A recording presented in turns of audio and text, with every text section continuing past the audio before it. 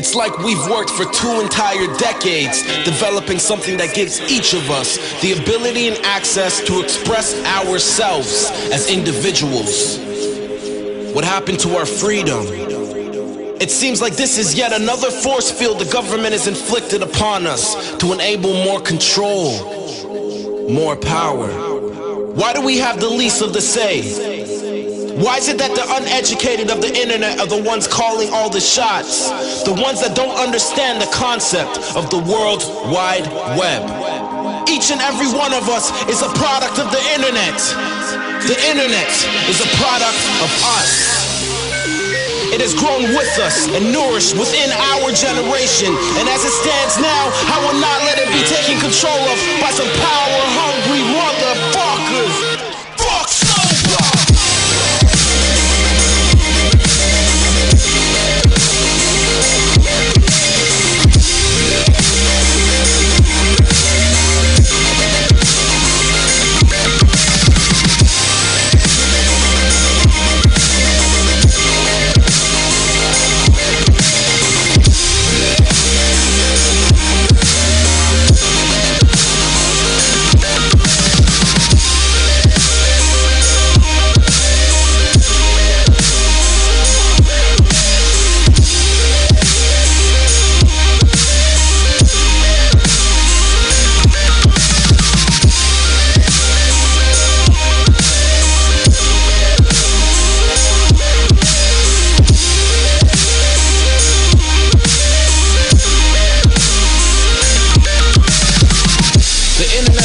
a chance at gaining more access to tools which would in turn speed the process of learning, communicating, and sharing.